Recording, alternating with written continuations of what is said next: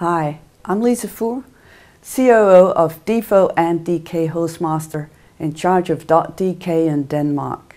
And I'm also the co-chair of the cross-community working group for the IANA stewardship transition.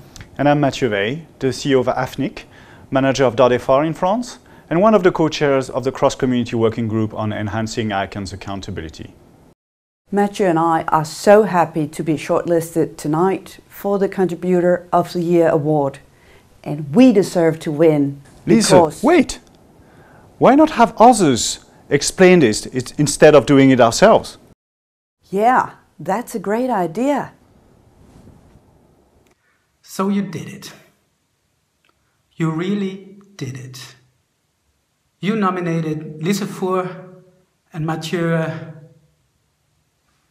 Weill for these awards. Never heard of them. Those co-chairs? They're so lazy and obstructive? No way. Contributor of the Year? That's an interesting one. Perhaps you should ask my co-chair which one of us got to do the uh, tennis course during the summer months. Listen, Matthew. Mathieu, what have they done lately? CWG, CCWG, I mean, that stuff's all behind us, basically.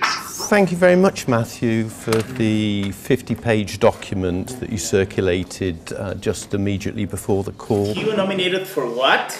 You gotta be kidding me, people. Please stop nominating people like this to any prizes. You cannot be serious, Lisa. No, absolutely not. Lisa Mathieu, what have they done? They should try chairing a CCNSO meeting or, or listen to those interminable fatty uh-huh. phone calls. Do you think these guys have the moral and ethical background for such honor? I mean, working with Matthew is a nightmare. I listen to him at 1 a.m., 3 a.m. calls. Come on, that's like the worst nightmare anyone can have.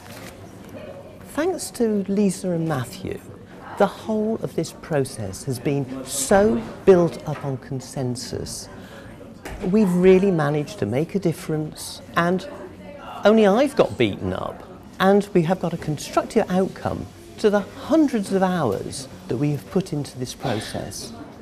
We really don't regret all the time put in, do we?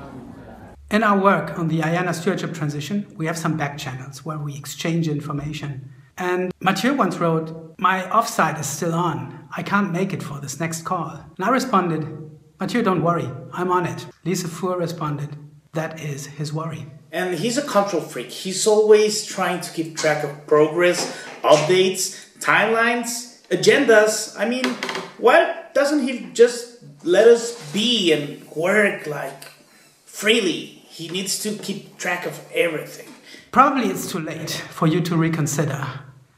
But should you see CENTR's reputation go south, don't tell me I didn't tell you. They're just like family to me now. In fact, I think I speak to them more often than I speak to my family. Since this whole pro process started, it's become my whole life. My whole life. What am I going to do when it's over? Lisa and Mathieu, you deserve this more than anyone else. Thank you so much for being such good friends and colleagues. It's a pleasure working with you. All the best. Seriously, I can't think of two more deserving candidates for Contributor of the Year than Lise and Matthew.